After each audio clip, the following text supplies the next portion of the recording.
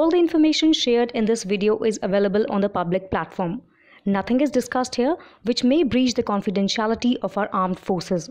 Defense Detective respects our defense forces and works only on the information that is available for public use. Hello friends, welcome to another episode of Defense Detective Global.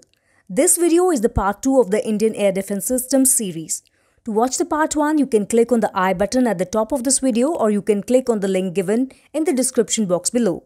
In today's video, we will tell you about the weapons used in the short range and very short range air defense systems. The systems currently being used by the Indian Defence Forces in short-range air defence are S-125 Pechora and 2K-12 Cub bought from Russia, Spider from Israel and our indigenous QRSAM and Akash air defence systems. Short-range and very short-range air defence systems are required for face-to-face -face combat. Suppose the forces of India and China or India and Pakistan clash on the border, then the short-range and very short-range air defence systems will be required because the area of war will be between 20 to 40 square kilometers, so there is no need for long or medium range air defense. So in short range air defense, first of all, we will talk about S-125 Pechora and 2K-12 Cub which are serving our forces since many years. S-125 Pechora is a weapon of the Soviet Union era. For the last 60 years, it has been protecting the Air Force stations of many countries around the world. According to time and need, it has been continuously upgraded. New technologies have been added to it, but now it has come of age. The interceptor missiles used in this are of two types. One is V600 and the other is V601. The warhead of V600 weighs 60 kg while that of V601 weighs 70 kg. The V600 has an operational range of 15 km while the V601 has an operational range of 35 km. Both V600 and 601 can hit targets at an altitude of up to 18 km. Both have a speed of 3.5 Mach. It is kept for the security of Air Force stations or airfields because in the event of a war, the enemy's first attempt is to destroy the airfields, airstrips and Air Force stations, which makes it difficult for the Air Force to operate. Three types of radars are used in this. The first radar is the Target Acquisition Radar. As the name suggests, its job is to detect the target. Its range is about 250 kilometers. The second is the Fire Control and Guidance Radar. Its job is to fire the missile and guide it to reach the target. Its range is 80 kilometers. The third is the Height Finder Radar. Its job is to tell at what height the target is present. Its range is 28 kilometers and it can track targets up to a height of 32 kilometers. Proximity fuse is used for detonation in these missiles so they do not hit the target directly but they explode themselves when they pass close, which also destroys the target missile. They are still being used by many countries of the world including India, Turkey and North Korea. At present, more than 30 countries in the world are operating S-125 Pechora. The next system is 2K-12 Cub. This is also an air defense of the Soviet Union era. It is a mobile SAM, which means that its launcher can move. They are used to protect the ground forces from air attack. They have been in service for more than 50 years. The warhead of the missile used in this weighs 59 kgs. Its operational range is 24 kilometers. It can hit the target at a maximum height of 14 kilometers. Its speed is 2.8 Mach. Along with its launcher vehicle, it also has a radar vehicle. It has two types of radars. The first is target acquisition and distribution radar. Its job is to detect the target. The other radar is continuous wave illuminator. Its job is to track the speed and height of the target. Its range is 50 kilometers. More than 25 countries including India, Iran, North Korea and Egypt are currently using it. India currently has about 180 units. S-125 Pechora and 2K-12 Cub are now gradually being replaced by Indian defense systems. Do you know why it's called SPIDER? It is the acronym of Surface to Air Python and Derby Defense System. Python and Derby are the two missiles which are used as interceptors in this defense system. It is counted among the best air defense systems in the world. In the year 2006, there was a plan to acquire the Spider air defense system. After three years, the deal was finalized in 2009. And from the year 2012, Israel started the delivery of Spider air defense system. India bought 18 Spider MR air defense systems under this deal. Along with it, 750 Python missiles and 750 Derby missiles were also bought in the deal.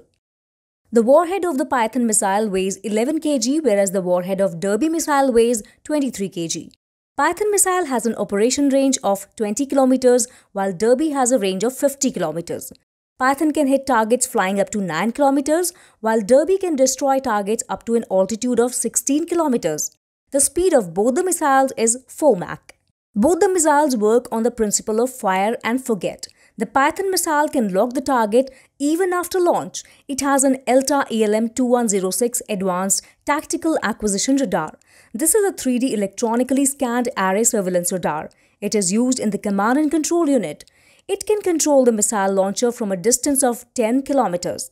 If we talk about its detection range, it detects fighter jets at 70 to 110 kilometers, helicopters from about 40 kilometers away and UAVs from 60 kilometers away. Apart from this, ELM 2084 multi-mission radar is also installed in it. This is also a 3D AESA radar. In air surveillance mode, it can detect 1200 targets simultaneously. Its range is about 250 kilometers. Spider Air Defense is one of the world's best air defense systems in the short range. We also have QRSAM and Akash air defense systems to support it in this layer. Now let's tell you about QRSAM and Akash air defense systems. Quick Reaction Surface-to-Air Missile that is QRSAM is India's indigenous short-range air defense system. It is an all-weather, all-terrain SAM system. It is a compact and highly mobile air defense system. It is designed to be ready in a few minutes. The radar installed in it can search and track the enemy on the move. It gives 360 degree coverage within a radius of 30 kilometers. Through this, rockets, drones, jets, or helicopters coming from any direction can be shot down. Its operational range is 3 to 30 kilometers. It can hit targets flying at an altitude of 30 meters to 10 kilometers. Its interceptor missile has a speed of 4.7 Mach. Now let's talk about Akash Air Defense System. It is also mobile surface-to-air missile. Indian Air Force and Army both are using it. The Air Force currently has 13 squadrons. Two more Akash batteries have been ordered by the Air Force while the Indian Army currently has two regiments and has ordered two more. Its operational range is also 40 kilometers. It can hit the target flying at an altitude of 20 kilometers. Its speed is 3.5 Mach. It has Rajendra 3D radar. It has an operational range of 60 kilometers. It can track 64 targets simultaneously and can intercept 12 targets together. Apart from this, work is under progress on Akash NG, that is, next generation missile. Its fourth test firing was done successfully on 26 April 2022 at Pokhran. The system was cleared all the tests and is ready for induction into the Indian Army. Now let's go ahead and talk about the fourth and the final layer that is very short range air defense system.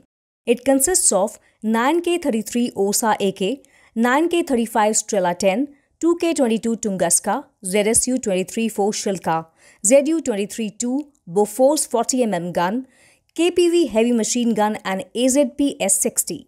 There are also manpads including the 9K38 Igla S and the FIM-92 Stinger missiles, soon to be joined by the Starstreak which is the most advanced manpad. 9K33 OSA AK is a tactical surface-to-air missile system.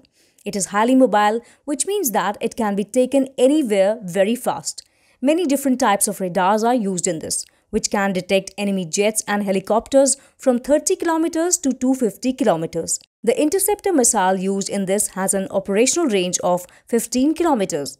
It can hit targets at an altitude of up to 12 kilometers with a speed of about 3 Mach.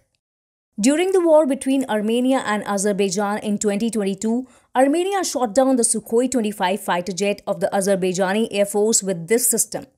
More than 20 countries of the world, including India, are still using this system. The next system in the fourth layer is 9K35 Strela 10. This is also a system which was developed by the Soviet Union. It was specially made to counter helicopters.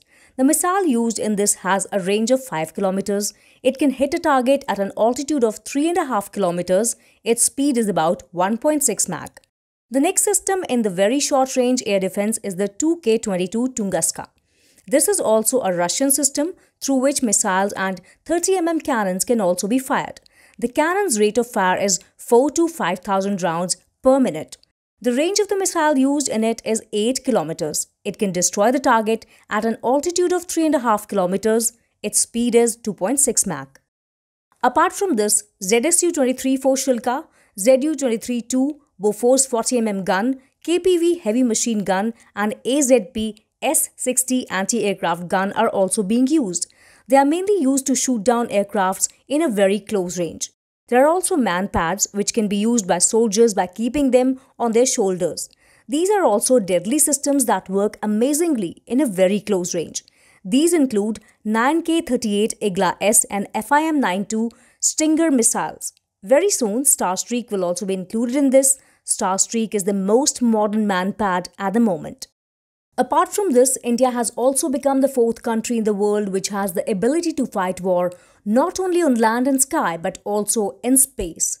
After the US, Russia and China, India is the fourth country which has the power of anti-satellite weapon. On March 27, 2019, India conducted Mission Shakti, an anti-satellite missile test in which a satellite located 283 kilometers above the Earth's lower orbit was shot down by a missile. With this test, India officially confirmed that the ASAT missile used in the test is a ballistic missile defense interceptor and is part of the Indian Ballistic Missile Defense Program. Its biggest feature is that it can also be used to shoot down ICBMs, that is, intercontinental ballistic missiles. Currently, India is working on directed energy anti-satellite weapon. It will be laser and EMP, which means electromagnetic pulse-based missile, and will be used in future. The anti-satellite weapon is also necessary because in future the war is going to be fought not only on the land and sky but also in space. To mark this achievement, a customized stamp on India's first anti-satellite missile launch was also released by the Department of Post in September 2020. All these defense systems together protect India from air threats in whatever form they come, be it a spy satellite, long-range missiles, fighter jets, helicopters or drones. And the biggest thing is that with the help of technology, these systems are constantly being improved so that new types of threats can also be dealt with. Friends, hope you liked the two-part series about India's air defense systems. Please like and share it as much as possible so that accurate information reaches every corner of the country. We will be back soon with another video. Till then, goodbye. Jai Hind.